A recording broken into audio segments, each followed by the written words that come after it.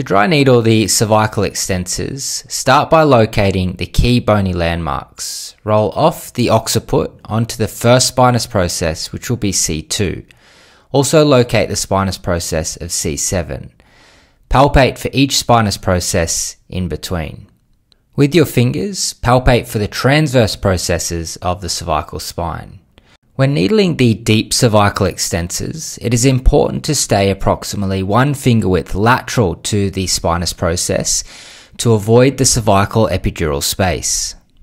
Needling to the cervical extensors should also be performed below the level of C2. This is to avoid the vertebral artery as it is more exposed above the level of C2. There is also no ligamentum flava above the level of C1. Additionally, the C2 cervical nerve exits posteriorly to the C1 C2 articular pillar. There are several different layers of muscle to pass through in the cervical extensors. When needling in between C2 and C7, your needling direction should be aimed towards the articular pillar. Your needling depth and needle size will vary depending on your intent of your targeted muscle. To give you an example of a cross section at the level of C3, the first layer of resistance will be the trapezius muscle, followed by the splenius capitis, then the semispinalis capitis, then the multifidus, which is not shown, before reaching the level of the articular pillar of the third cervical vertebra. At the level of C5, the cross-sectional area changes slightly, once again, the trapezius, the splenius capitis, the semispinalis capitis, and the semispinalis colli, with the multifidus lying deeper, once again not shown. The needle should always be aimed towards the articular pillar to avoid entering the cervical epidural space. The major neurovascular structures, including the vertebral artery and vein, lie anterior to the articular pillar and are protected by the vertebral foramen. The cervical nerve roots exit anterior to the transverse process, so it is important to stay posterior to the transverse process and aim towards the articular pillar.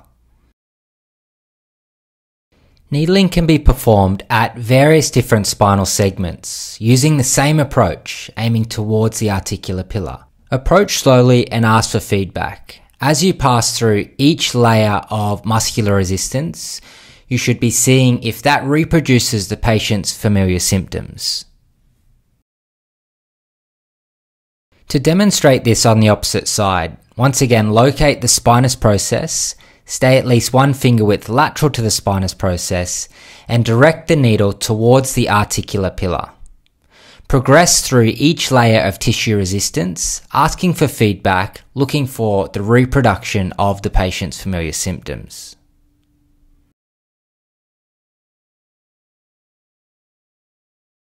Your needling angle may vary slightly depending on the distance from the spinous process. If you are more medial to the spinous process, the needle can be stood more upright, once again aiming towards the articular pillar. If your needling location is more lateral to the spinous process, then your needle should be directed in a slight medial direction, also aiming towards the articular pillar. Here is another example at the level of C5, with the horizontal red line representing the level of the articular pillar, and the vertical red line representing the spinous process. The vertical green line represents the edge of the cervical epidural space. When needling slightly lateral to the vertical green line, the needle can be directed perpendicular to the articular pillar. If your needling location is more lateral, then you can direct the needle in a slight medial direction, aiming towards the articular pillar. It is always important to palpate for the key bony landmarks and understand the location of major neurovascular structures, as well as approaching slowly and asking for feedback throughout your needling application.